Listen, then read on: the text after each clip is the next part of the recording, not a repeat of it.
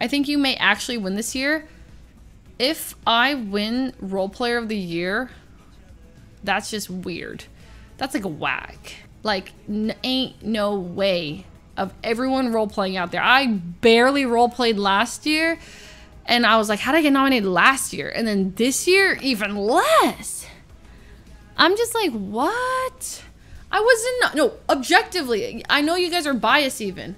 Objectively, I was barely role playing in 2022. I was role playing like crazy in 2021.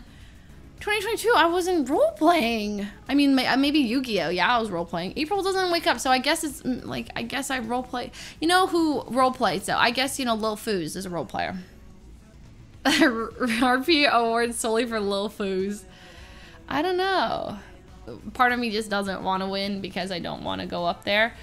Sounds awful. I hate public speaking.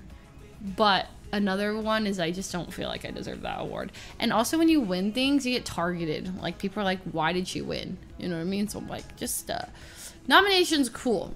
Good one. It's kind of like uh, you know, that one game awards when I got nominated. I'm like, I do not want to win this genuinely.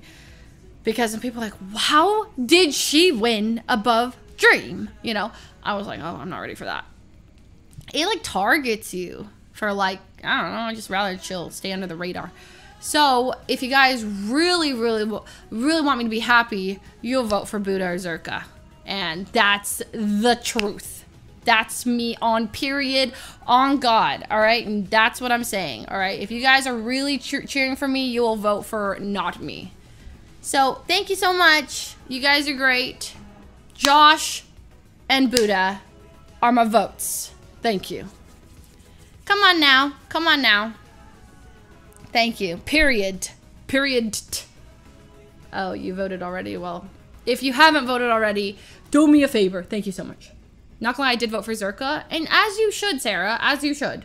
Buddha won once. Now it's your turn. Listen, just because Buddha won once doesn't mean he can't win again. If he's the role player of the year, he's the role player of the year.